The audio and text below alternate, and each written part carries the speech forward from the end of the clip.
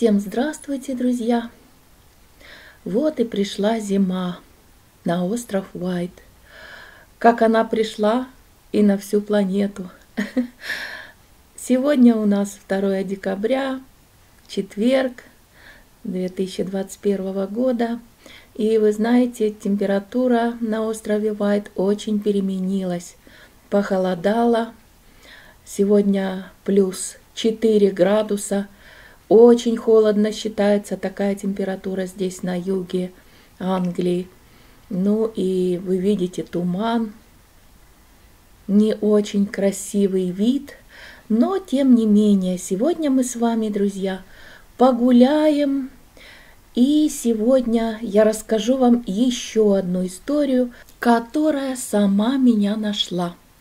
Как это чаще всего бывает, моя очередная встреча здесь на острове, неожиданная встреча, она дала мне повод вот на такую большую историю, которой я хочу сегодня с вами поделиться. Итак, друзья, усаживайтесь поудобнее и давайте начнем.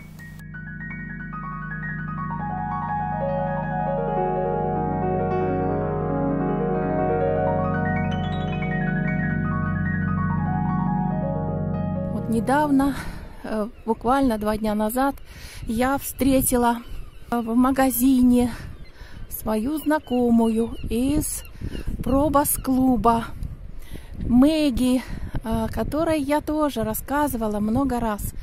Э, она была на нашей свадьбе. Вот я нашла вам, она сидит напротив меня на свадьбе в красном костюме. Очень яркая, энергичная женщина. Вот здесь тоже она задом, видите, в красном пиджачке. К сожалению, это все, что я смогла найти, где Меган попала в кадр. Ей было 90, по-моему, лет. Вот как-то то ли 89, то ли 90 лет. И она немножко прихрамывала, она ходила с палочкой. Слышали, вероятно, эту историю. Много раз рассказывала. А потом она сделала операцию себе – заменила шейку бедра, да. Операция прошла успешно, она потом без палочки бегала. Я ее даже тоже встретила где-то лет пять назад. Замечательно выглядела. И вот сейчас я встретила ее опять. А, вы знаете, она была не одна, она была в компании каких-то еще двух женщин, тоже примерно возраста ее. Но и я обратила внимание на то, что она уже, знаете, немножко так замедлила свой жизненный темп. Видно было, что она уже, знаете, такая какая-то с потухшим взглядом. Но когда я стала с ужасом считать, сколько же лет этой Мэгги, Мэйч, господи, как же ее звали, вот как-то так, уже даже толком и сказать-то не могу, которая приглашала меня плавать в бассейн, когда я приехала сюда 10 лет назад. Ну, то есть, представляете, она бегала, и энергии ей было не занимать. Ну и вот, 10 лет спустя, ей, по-моему, под 100 лет уже. Поэтому, знаете, трудно удивляться, что она немножко такая, знаете, уже попритухшая. Но, тем не менее, своими ногами она ходила, и опять же без палочки, вот с этими двумя пожилыми очень леди. Прекрасно одета, прекрасная стрижка, уложены волосы. В общем, вот так. Женщине, я, ну не знаю, друзья, прям не знаю даже. Хотелось, наверное, к ней, к ней бы подойти и узнать, сколько же ей лет. Я, к сожалению, подойти к ней так и не решилась. Подумала, может быть, она меня уже забыла давно. Ну и, конечно же, вы знаете, скорее всего, что этой женщине уже больше ста лет. Это точно, что больше ста лет.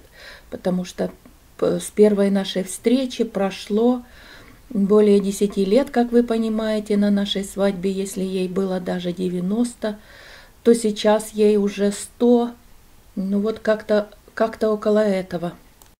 И я, конечно же, стала вспоминать других членов пробас-клуба, моих знакомых, которых там у меня было очень много.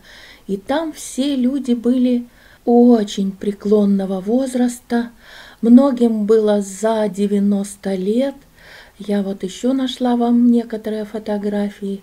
И эти все люди вели активнейший образ жизни.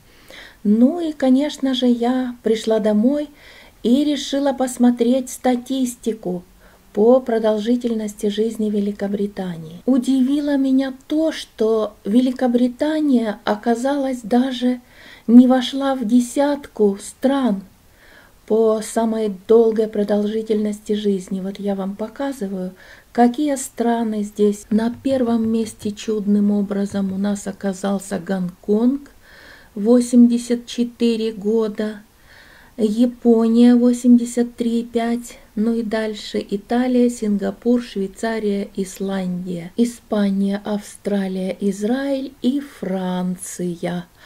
А вот Великобритания, к моему великому изумлению, оказалась только на 24 месте, продолжительностью жизни 81,7 лет. Это статистика 2015 года, и если вам интересно, то Россия находится на 96 месте, 73 года продолжительность жизни – и Украина тоже 73 года, как и несколько других стран. Но вы знаете, статистика дело такое, как средняя температура по больнице считается средним.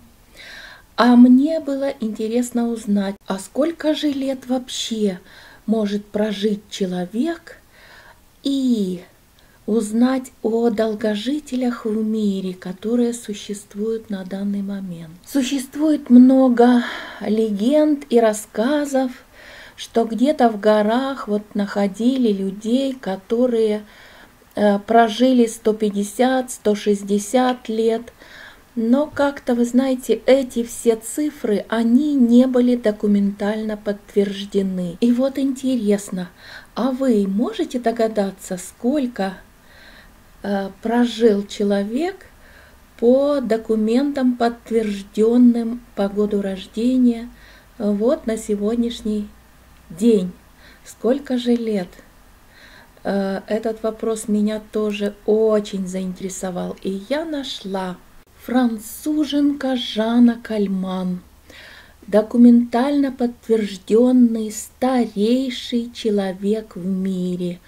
Она родилась 1875 году и умерла в 1997, то есть прожила ровно 122 года и 165 дней.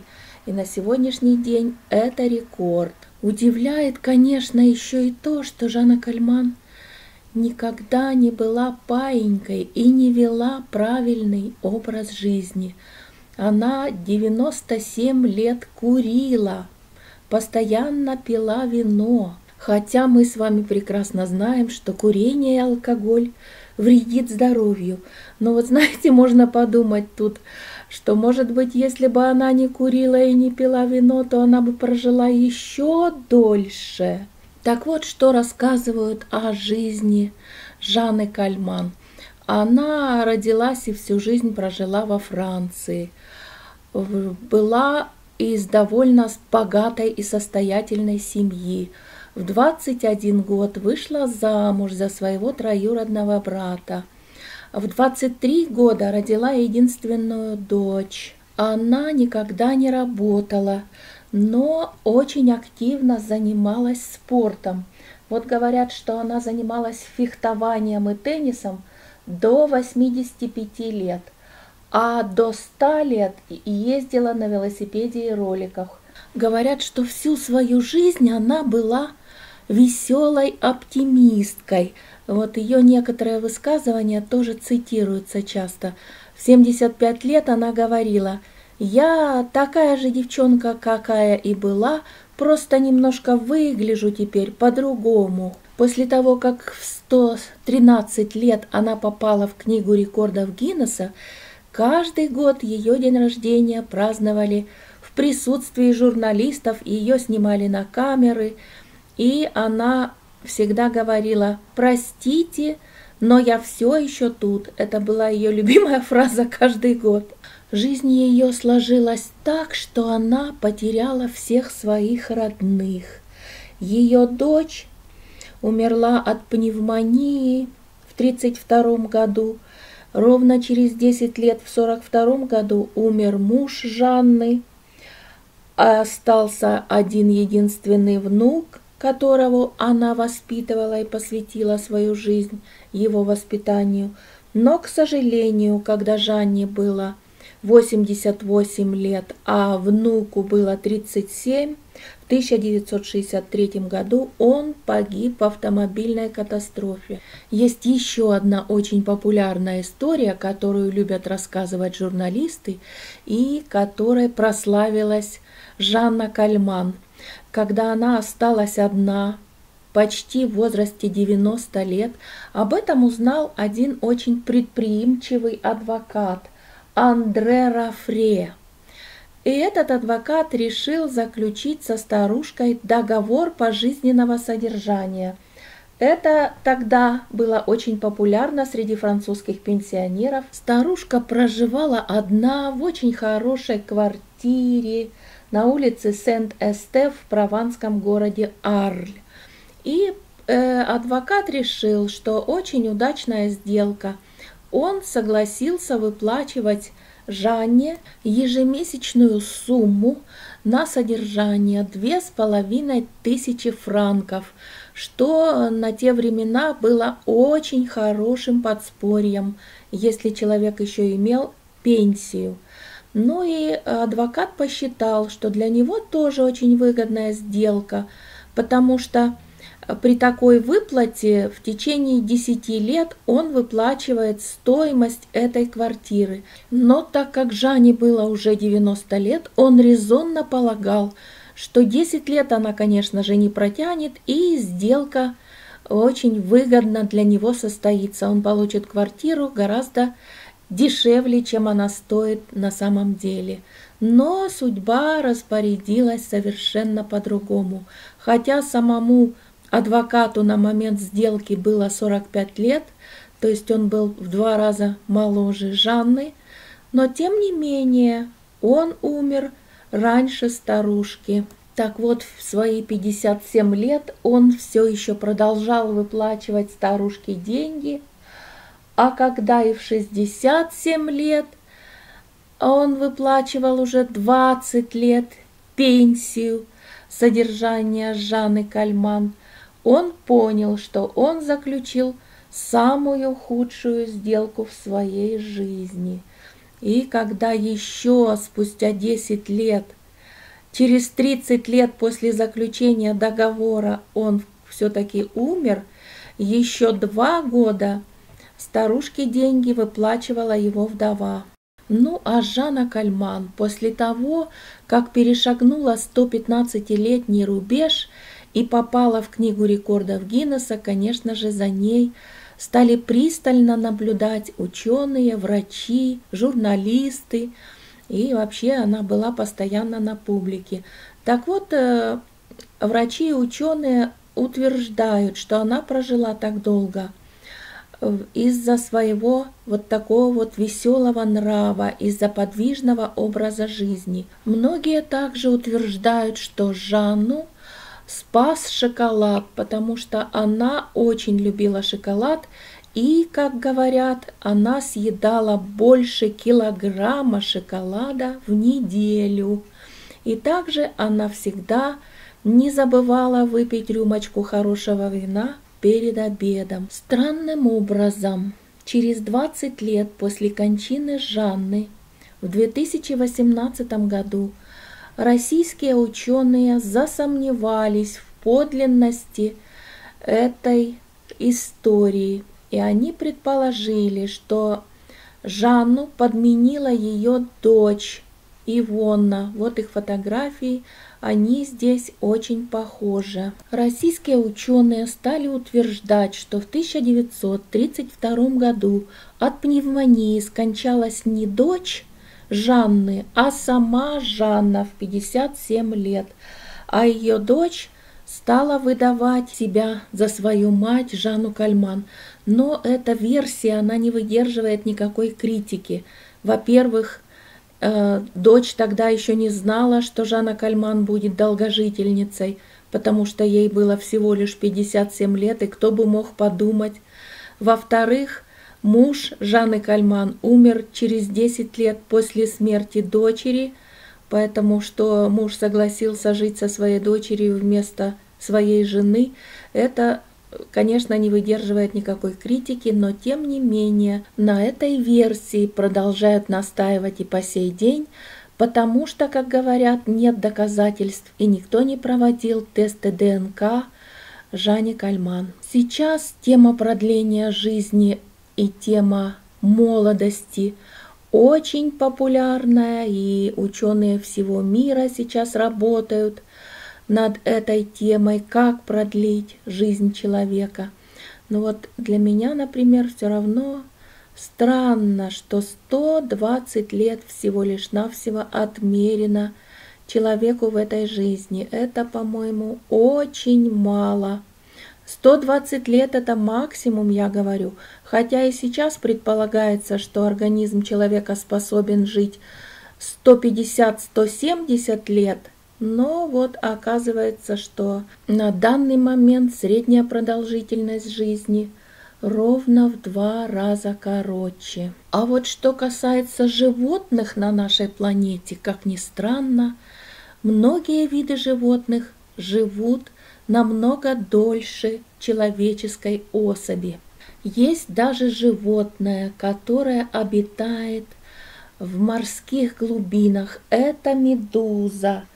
Туриопсис нутрикула, очень маленькая по размерам, достигающая едва 5 мм, но она, как сейчас уже доказали ученые, вечно живет. Она может повторять свой жизненный цикл бесконечное количество раз. На данный момент насчитывается уже больше 10 видов животных организмов на нашей планете, которые, как утверждается, живут вечно или могут жить тысячелетиями и от естественной смерти не умирают, умирают только будучи съеденными или убитыми. Я хочу показать вам лишь некоторые из них, которые на данный момент живут на нашей планете.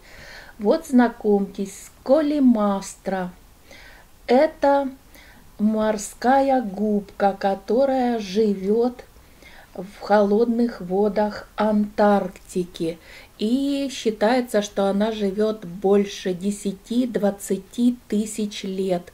Дальше, конечно же, уже не знает никто, но считается эта губка бессмертной. Следующее живое существо – это морской еж которые в больших количествах живут в Красном море, и считается, что морской еж никогда не стареет.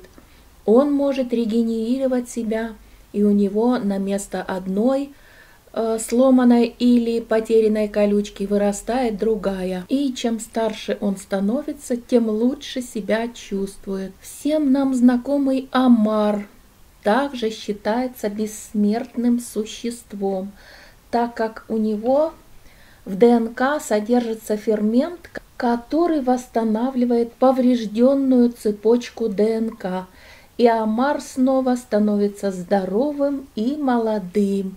Они растут всю жизнь, эти омары, и считается, что они бессмертны. Еще один счастливчик – голый землекоп. Живет он в полупустынных районах Африки – Голый он потому что никогда не имеет шерсти, а по состоянию организма всегда как новорожденный. Считается, что голый землекоп никогда не стареет. У него здоровье всю жизнь одинаковое. И вот, как говорят ученые, у голого землекопа в ходе эволюции был отключен механизм старения. И сейчас этот землекоп одна из главных надежд в борьбе за бессмертие человека, потому что вот из пяти перечисленных живых существ голый землекоп единственный, который живет на суше. Не правда ли занимательная история? И получается, что животный мир намного обогнал по эволюции человека. И я вам не перечислила еще очень много животных, которых сейчас нашли ученые и которые считаются бессмертными, ну или, по крайней мере, живущими тысячи и тысячи лет. И вот вы знаете, существует одна передача, да вы ее знаете тоже прекрасно, ее ведет Владимир Познер на Первом канале. Так вот, он там в конце передачи всегда у своих героев спрашивает, а хотите ли вы жить вечно? И вы знаете, на удивление я слышу ответы всякие разные, но никогда я не слышала, чтобы кто-то сказал, да, я хочу жить вечно, почему бы и нет.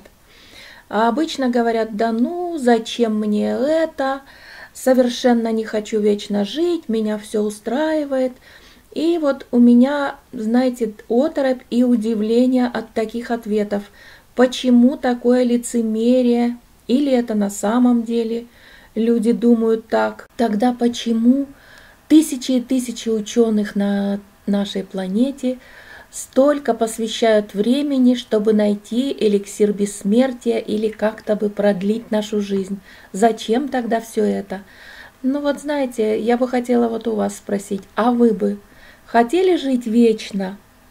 Или, например, как вы считаете, сколько должна быть продолжительность жизни человека, чтобы он успел сделать все, что желал, хотел, и нажиться, как говорится, досыта. И тут мне вспоминается еще одна история буддийского монаха Итигелова, наверное, слышали, который э, 27 году сел в позу лотоса в Бурятии, собрал вокруг себя своих учеников и дал им наставления, чтобы они через 75 лет откопали его тело. И вот есть фотографии даже, когда вынули тело этого монаха Итигелова, и что он считается, в общем-то, нетленным и живым, спустя столько времени. Так вот, монах Этигелов, почему я его вспомнила? Говорят, что этот феномен сейчас пока никто не может разгадать, что тело находится как бы в состоянии, все клетки живые. Э, так вот, монах Этигелов говорил, что он специально себя вот так вот затормаживает – и останавливают свою жизнь, потому что он считает, что человеку недостаточно даже 100 или 150 лет, чтобы все понять в этой жизни. Нужно, по крайней мере, тысячу прожить лет или даже полторы тысячи лет – ну вот такая вот история. Я бы хотела, друзья, конечно же, услышать вас и ваше мнение. Что вы думаете о бессмертии, сколько должен прожить человек, ну и вообще, что вы думаете обо всем об этом и как бы вы ответили на вопрос, а хотели бы вы жить вечно?